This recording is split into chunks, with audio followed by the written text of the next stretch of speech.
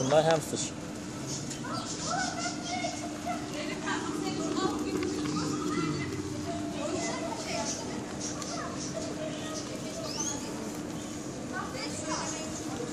Ağzındakileri yavrusu.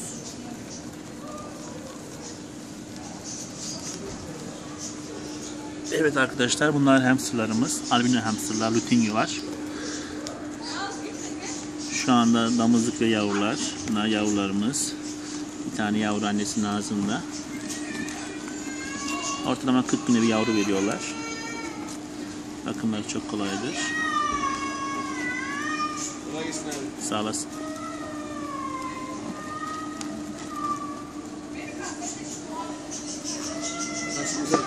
Yok.